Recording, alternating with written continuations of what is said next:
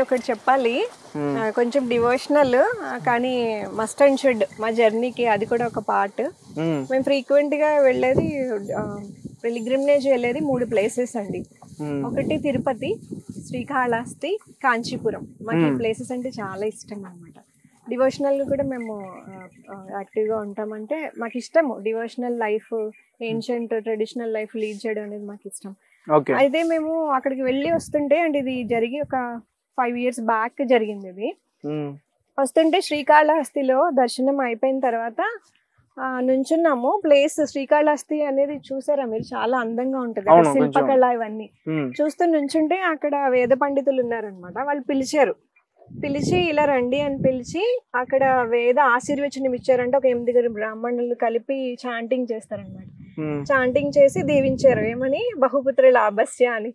నాకు ఆశ్చర్యం వేసింది. ఇదేంటి? నాకు ఆల్రెడీ టూ కిడ్స్ ఉన్నారు. ఒక పాప బాబు. బహుపుత్ర లాభస్య అని ఎందుకు జీవి దీవెనిచ్చారు? అంటే వేద పండితులు మాట అనేది వమ్ము కాదు. వాళ్ళు అన్నారంటే జరిగి తీరాలి. అయితే ఈ ఈ జన్మలో కాదేమో నెక్స్ట్ జన్మలో ఏమో అని అనుకున్నా. బట్ లేటర్ ఆ జర్నీ ఎలా లీడ్ చేసిందంటే వీళ్ళందరూ పిల్లలే కదా. వీళ్ళందరూ ఆ బహుపుత్రులు పుత్రులందరూ వీళ్ళే. సో. ఇంత కుటుంబం ఉంటుందని అది నేచురల్గా మనకి ఒక సైన్ లాగా అప్పుడే ఉంది బట్ తెలియలేదు. తర్వాత తెలిసి చాలా హ్యాపీగా ఫీల్ అయ్యాను ఓకే. సో ఒక కారణం ఉంటుంది మన జర్నీ అనేది ఒక కారణంతో స్టార్ట్ అవుతుంది.